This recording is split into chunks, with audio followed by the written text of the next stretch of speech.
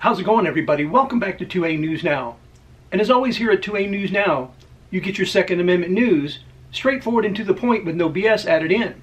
I already had recorded a totally different video than this one, and I had to go pick up some medication, and then I was going to come back and edit that video and post it. But then I got some information that I thought everybody should know right away. So I'll post that video tomorrow.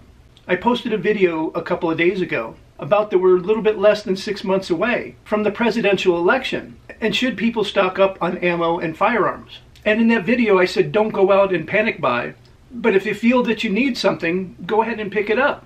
Now, once again, I'm going to say don't go out and panic buy. I'm going to give you this information, and you can do with it whatever you want. An ammo shortage and high prices are soon to come. According to the information that I have, there will be a gunpowder shortage of 2024.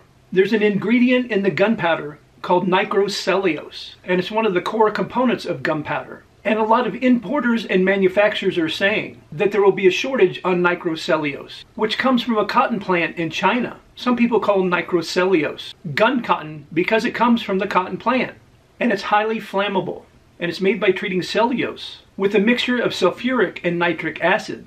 According to people in the industry, the shortage will be a direct result of China refusing to sell nitrocellulose to Western nations and Europe and only supply the Russians. Right now, prices of ammunition have leveled out. But unfortunately, if this is true, it will disrupt the supply chain dramatically before the election, causing ammo prices to skyrocket. I'm going to post up on the screen so you can follow along with me. A message from Powder Valley, dated 5-9 of 2024.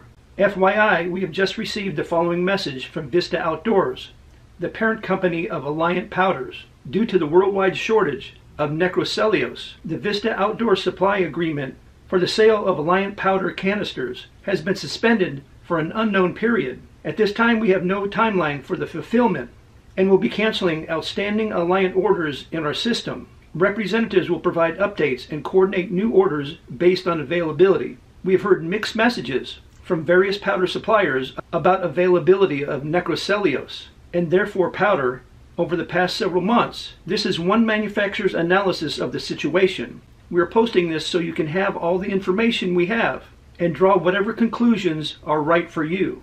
It's been reported that Russia's import has exploded by 70% in 2022. By mid year 2023, they had reached over 3,000 plus tons. That's almost double from 2021. Defense companies worldwide are having a hard time securing this much needed material due to the shortage, leading to price hikes and production slowdowns. Nitrocellulose faces strict international trade regulations that limits production to only a few countries. In April of this year, members of Congress announced a legislation to push the Biden administration to conduct an inventory of the United States gunpowder supply chain and offer suggestions to make sure enough will be available from the military and U.S. citizens. Republicans in Congress said law abiding Americans could struggle to get ammunition amid a global shortage of nitrocellulose. Very few nations make nitrocellulose. The big players in the industry are Thailand, China, and India. The big problem is with both supply and demand. The Russian Ukraine war has created a huge pit for munitions, and China has tightened up its supply. They say China is reluctant to sell to the US because so much of the supply is being used making munitions that is sent to the Ukraine. Defense industry manufacturers are grabbing up as much of the supply they can that reaches the United States. Even European officials are saying the shortage is affecting rearming Ukraine. According to industry insiders, factories have gunpowder stockpiled, but the shortage is expected to catch up to them no later than this summer. There's going to be a change in the market, and there will be a rise in cost to the manufacturers and an increase of price of ammunition to the consumer. And like I said at the starting of the video, don't go out and panic buy. This is just information that I'm giving you, and hopefully you'll pass it on to others. And then you can figure out what you want to do, not purchase any ammunition at all.